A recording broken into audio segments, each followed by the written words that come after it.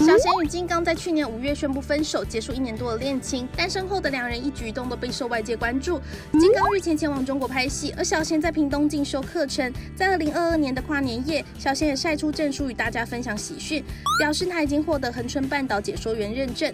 在二零二二的最后一天，他于恒春西门广场的跨年晚会活动中完成受证仪式。在这之前，经历了一学期的教师基础课程，还有户外实习课程，以及二十四小时的服勤时数。在经过笔试和口试之后，最后班上十五位同学全数通过。小贤非常感谢指导老师及同学们，每个人都很热心参与课程，大家也很珍惜每个月可以聚会的机会，也经常相约一起去爬山或是走恒春半岛的行程。几乎能够交到这群好朋友，真的很幸福。